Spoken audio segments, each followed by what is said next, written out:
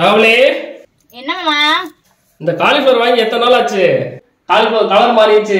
அத வச்சு என்ன பண்றதுன்னு தெரியல மாமா எதுக்கு அதை வாங்கிட்டு வந்தீங்க? அது எதுக்கு வாங்கிட்டு வந்தியா? பிள்ளைகளுக்கு பொரிச்சு கொடுக்கறதுக்கு தான் வாங்கிட்டு வந்தேன். மயில் காலிஃபிளவர்னா நல்லா சாப்பிடும்ல உனக்கு தெரியாதா? பொரிச்சா நீங்களே வந்து ரெண்டு ரெண்டா எடுத்து காலி பண்ணிடுவீங்க. இந்த சொல்லியெல்லாம் இங்கே வேணாம். அட இதையும் கண்டுபிடிச்சிட்டாலே நீங்க எந்தெந்த நேரத்துல என்னென்ன பண்ணுவீங்கன்னு எல்லாமே எனக்கு தெரியும். அப்ப பொரிச்சு வச்சிருமா பாப்பா வந்தானே சாப்பிட்டுக்கிறோம் பொரிச்சா ரெண்டு ரெண்டா காலியா போயிருமாமா கிரேவி வச்சிடலாம். நைட் இட்லிக்கு சாப்பிட்டுக்கலாம். ஏமா நீ எப்பயும் செய்வீல அதானே? அதேதான். எப்படி கலர் மாறி போச்சு பாருங்க. ம்? நாவலே உன் தலையை கொஞ்சம் காட்டு. மாமா ஆசையா எவ்வளவு பெரிய பூ வாங்கிட்டு வந்திருக்கேன் இந்த பூ மட்டும் தலையில வச்சுக்கோமா ஆசையா வாங்கிட்டு வந்திருக்கேன். நல்ல பிள்ளைல. தலையில காட்டுமா தலையை காட்டுமா? தலையில வச்சிடலாமா? மல்லிகைப்பூ கனவரெல்லாம் வாங்கி தரேன். அந்த பூலாம் தலையில வைக்கிறீங்களா இந்த பூ ஒரு நாளைக்கு தலையில வைங்க. அதையும் பாத்துருவோம் வர வர இவர் சேட்டை லூட்டி எல்லாத்துக்கும் அளவு இல்லாம போச்சு. ஆமாங்க இந்த பூவை மட்டும் யாருமே தலையில வைக்க மாட்டீங்க எதுக்கு இதுக்கு மட்டும் ஃப்ளவர்னு வச்சிருக்கீங்க? இது பூ தானே? அப்ப இந்த பூவை தலையில வைக்கலாம்ல? இதெல்லாம் நியாயமா உங்களுக்கு? இந்த சைஸ் பூவுக்கு எந்த சைஸ் கேர்பின் வேணும்? கொடுங்க மாமா போய் இட்லி சட்டியை கழுவுங்க. பூவை வச்சு விட்டு போறேல மாடி போயிடும் போய் கழுவுங்க மாமா. கொண்டா கொண்டா ஒரே ஒரு தடவை. தள்ளி விட்டுட்டா. பாப்பா ஸ்கூல் விட்டு வரப்போது உங்களுக்கு என்ன விளையாட்டு? எஞ்சி ஃபர்ஸ்ட்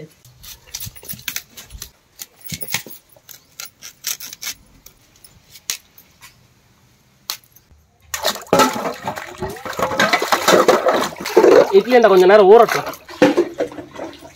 இட்லி என்ன ஒரே பிசு பிசுன்னு இருக்கு. மாசத்துக்கு ஒரு வட்டம் தான் இட்லி ஊத்துறா. அந்த இட்லி என்ன அப்புறம் எப்படி இருக்கும்? பிசு பிசுன்னு. கையெல்லாம் பிசு பிசுன்னு ஒட்டிடுச்சு.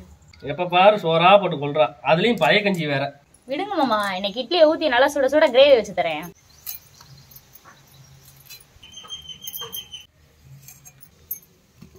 ஏமா நீ பாட்டுக்கு அடுத்த அடுத்து போட்டுக்கிட்டு இருக்க? அதுல புழு இருக்கும்ல. பார்த்து தான் மாமா பண்ணிட்டு இருக்கேன். சுடுதண்ணில போட்டுடலாம். காலிஃப்ளவர் வெள்ளை வெள்ளையன்னு தான் இருக்கு. அதுக்குள்ள கலர் மாறி போச்சுன்னு சொல்லிட்டீங்க. ஏன் மாமா?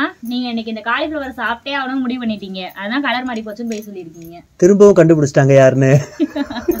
அவன் நான் எது பண்ணாலும் கண்டுபிடிச்சிருவாயா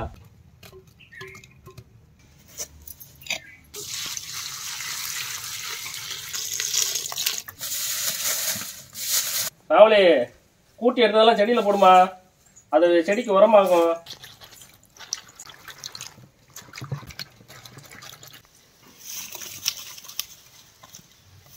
பச்சை மிளகா செடியில் ஊற்றிடலாம் பச்சை மிளகா செடி இலையை ஃபுல்லாக புளி சாப்பிட்டுருச்சு.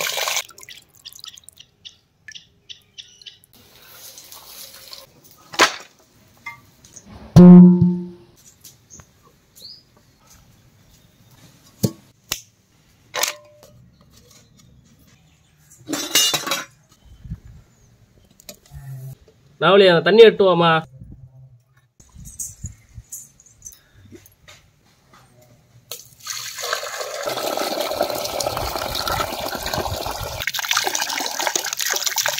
தண்ணியை ஊத்துற பேர்ல விறகு அணைக்கிறதே இவளுக்கு வேலையா போச்சு. தண்ணியை தூக்கிட்டு வந்து ஊத்த சொன்னா சிந்தி சிந்தி ஊத்தி வச்சுட்டு போயிருக்கா. ஊத்துன தண்ணி ஃபுல்லா பானைக்கு வெளியில தான் இருக்கு. மாமா ரெண்டு விறகு மட்டும் எடுத்துக்கிறேன்.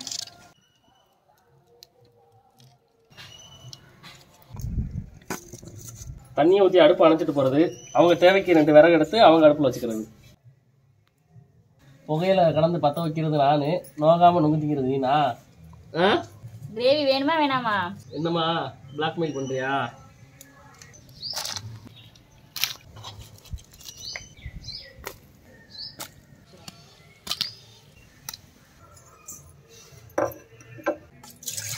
மாமா காலிஃப்ளவருக்கு மஞ்சள் பொடி போட்டு விடுங்க. உள்ள இருந்தா எடுத்துட்டு வாமா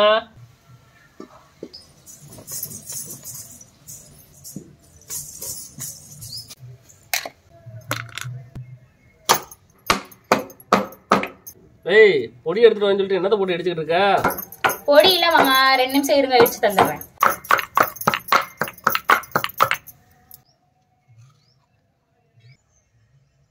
தங்கச்சி அன்னைக்கு அம்மியில அரைச்சிங்களே? அதுவே கொஞ்சம் நல்லா இருந்துச்சு. அவன் ஒன்று ரெண்டா தான் ஏன் தட்டுவா? பரவாயில்ல கொண்டு வந்து போடுமா? பாதி வந்து கொஞ்சம் மஞ்சப்பொடி இப்போ தான் போடுறேன்.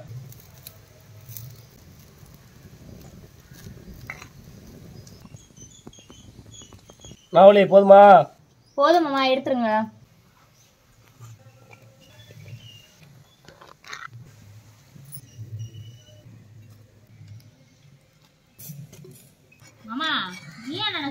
போனீங்கல்ல எப்படி பேசுனீங்க? எங்கெல்லாம் பேச விட்டாங்க? மைக்கே கையில கொடுக்க மாட்டாங்க மைக்குக்கு அடிபடி சண்டையா இருக்கு. மைக்கை கேட்டோம்னா தலானியத்தையும் கொடுத்தாங்க. தலானியை பத்திரமா வச்சு உட்காந்துட்டேன். அப்ப நீங்க எதுவுமே பேசலையாமா உங்க அண்ணன் முன்னாடி வரிசையில வரைஞ்சு கட்டி உட்காந்து பேசிக்கிட்டு இருந்தா யோ என்ன சொல்றியா? அம்மா நீ தான் முன்னாடி உட்காந்துருந்த. ஆமா. பின்னாடியில ஓட்டாங்க இங்க மட்டும் என்ன பேச்சு பேசுறீங்க? அங்க போய் பேச தெரியாது. என் பேச்செல்லாம் வீட்டுல மட்டும்தான். வேற எங்கேயும் எதிர்பார்க்க கூடாது என்ன டாபிக் மாமா? சமையலை பத்தி அது ஒண்ணும் இல்ல தங்கச்சி. சமையல்ல வந்து பெஸ்ட் நீங்களா நாங்களா? நாங்க தானே மஞ்சப்பொடியை தட்டிட்டு வர சொன்னா மஞ்சள் குருணையை தட்டிட்டு வந்துட்டு நாங்க தான் சொல்லிக்கிறது வெளியில வெக்கம் இல்லாம. இந்த பேச்சை நீங்க அங்க பேசியிருக்க வேண்டியதானே மாமா? சரி ஷோ எத்தனை மணிக்கு மாமா?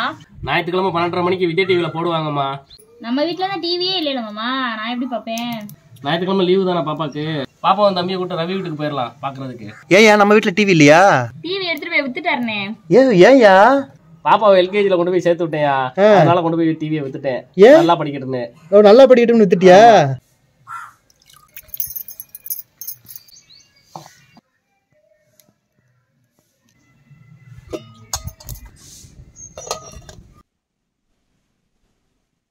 ஏதோ இந்த மாலை இட்லி வேகுது?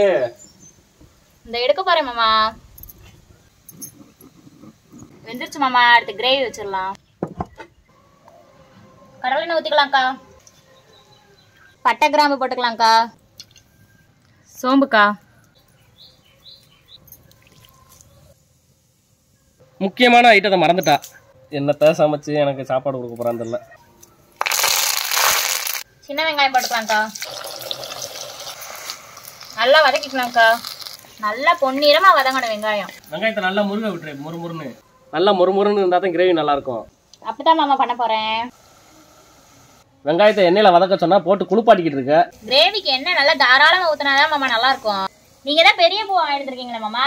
அதுக்கு இவ்வளவு எண்ணெய் வேணும் மாமா. என்னமோ சொல்ற. நானும் சரின்னு கேட்டுக்கிறேன். நல்லா இருந்தா சரி.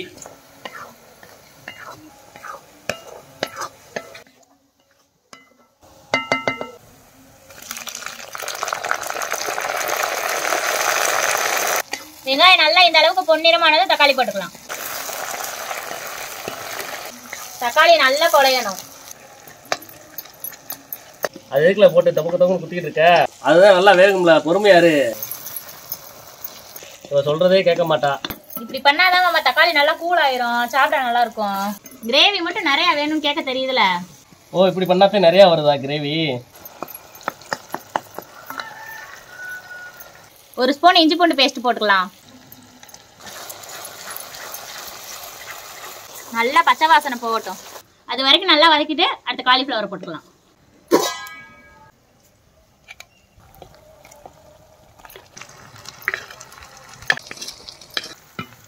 கல்லுப்புக்கா.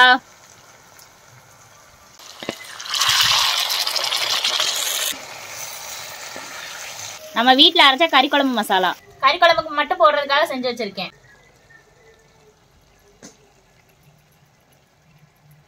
ஏய் நாவலி இதுல கொட்டுற கறிக்கு போடுறத விட்டுட்டு. இந்த பொடி போட்டாதான் நம்ம மயிலுக்கு ரொம்ப பிடிக்கும்.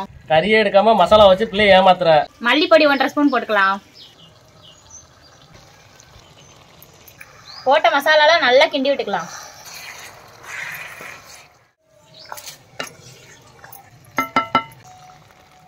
என்னல இது? எண்ணெயில தக தகன்னு கொதிச்சுக்கிட்டு இருக்கு. கறி குழம்பு மாதிரி சூப்பரா இருக்கும் மாமா. சாப்பிட்டு பாருங்க. ஏ கிரேவி சூப்பரா இருக்கியா? இட்லி ரெடியா பானைக்குள்ள வந்து பாக்கலையா நீ இட்லி அப்பவே ரெடினே கொஞ்சமா தண்ணி ஊத்தி ஒரு பத்து நிமிஷம் கொதிக்க விட்டா கிரேவி ரெடிங்கண்ணே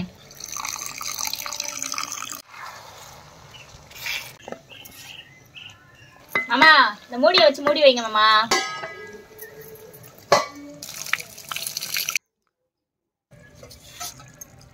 தங்கச்சி அவ்வளவுதானா? ரெடி ஆயிடுச்சா? அவ்வளவுதானே ரெடி ஆயிடுச்சு.